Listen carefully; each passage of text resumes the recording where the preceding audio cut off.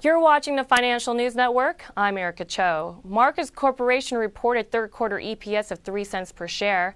Revenues for the quarter rose 9.6% year over year to $90.07 million, missing consensus estimates of $93.73 million.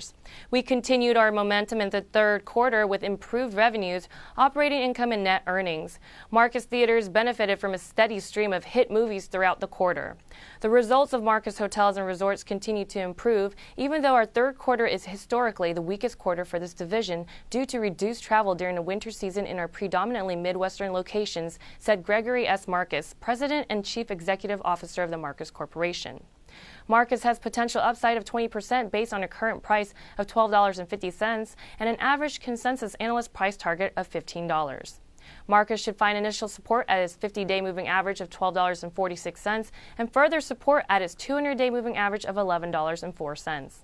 In the last five trading sessions, the 50 day moving average has fallen 0.42%, while the 200 day moving average has risen 0.25%.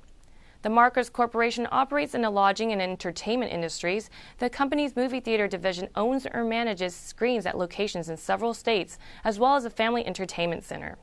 Marcus's lodging division owns and manages hotels and resorts in several states, as well as a vacation club. You're watching the Financial News Network. I'm Erica Cho.